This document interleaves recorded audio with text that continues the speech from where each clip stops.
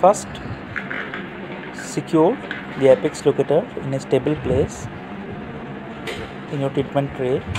Then you have to place the lip clip in the lower lip and then you have to gently insert 50 number file. In this case i am using 50 number file and it's the tooth number is upper right first molar tooth. I'm placing it very gently i took an x-ray before so that i know what is the measurement but i haven't insert all the working length. I just some millimeter i entered. And i will turn on the apex locator now. If you see all the reading is on all the color code is blinking or that will show the false reading. In this case it's showing false reading because i haven't entered the file much because of the, the cause of this false reading is the saliva or water present inside the pulp chamber. I just dried it with airflow. Now you will see only one reading will blink and i'm pushed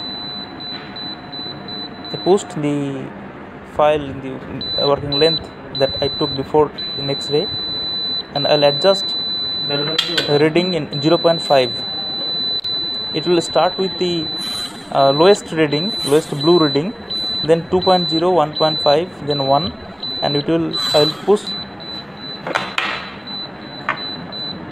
until it will come the 0.5 measurement of 0.5 the 0.5 denotes the file is just in the apical constrictor that's the correct measurement. And you have to adjust the file according to the reading of apex locator 0.5 so I am taking the working length by apex locator and it's the correct measurement.